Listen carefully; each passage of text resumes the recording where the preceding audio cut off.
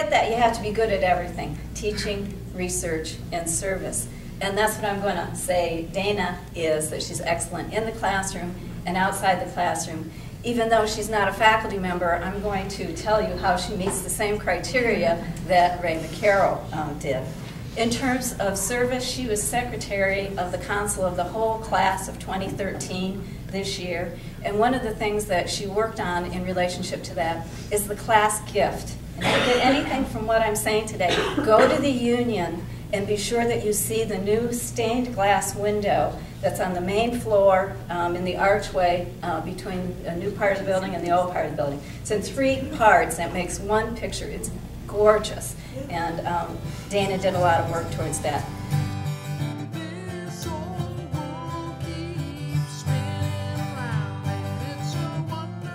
Also co-president of the Student Women's Association. And uh, for example, this spring was the narrator in the Vagina Monologues. She served as a volunteer for Spruce Run, which is the oldest domestic violence shelter in Maine. And they make the argument in the United States, so she's volunteered for them. And she's in the Lambda Pi Eta Honor Society. And was in the Honor Society that she also has gotten some teaching experience, even as an undergraduate. She was a tutor for one of our core gateway um, classes this spring, in the fall before, she was an undergraduate teaching assistant for another course in the major. So even as an undergraduate, she's contributed to teaching. In terms of research, our students do research in class, but again, what distinguishes Dana is she does that outside of class too. She was a volunteer last summer for uh, the Barnard Center for Research on Women and kept, did a blog um, for them. She's a lab resistant research a research assistant for the lab for the School of Biology and Ecology here at Maine because her minor is biology. And she also did some research um, with me uh, this spring.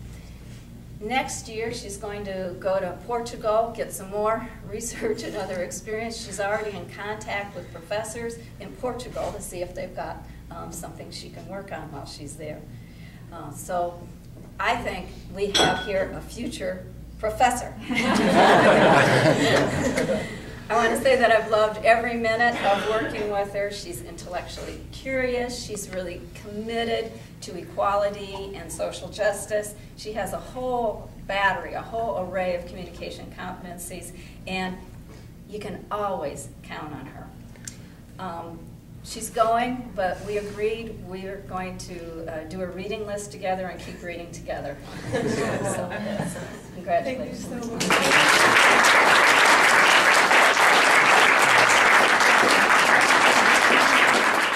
Like say any glowing words about your professor? She's amazing. She's amazing. Yeah. And she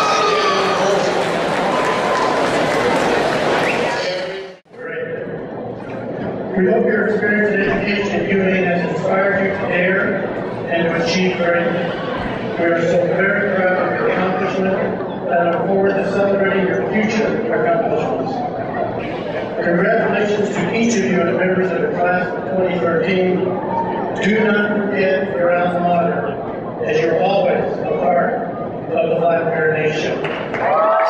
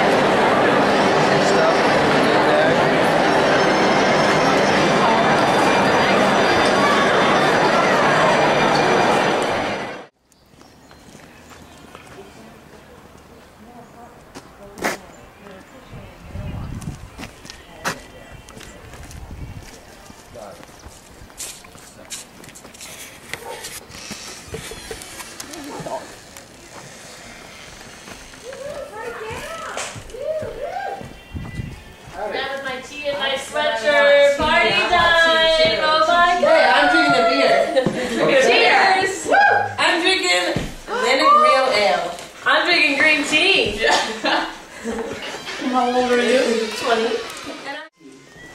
Okay, how does it feel to be a new graduate? It feels great because I'm getting lots of cards and everything, but I don't want But- right She now. feels the love. but but I don't feel like I just graduated college. It feels surreal. Because we're still just chilling in our kitchen like we do every day. So. And I'm wearing my dress and sweatpants and some slippers. Paul's graduate right here, ladies and gentlemen. Let me just take a video. Um,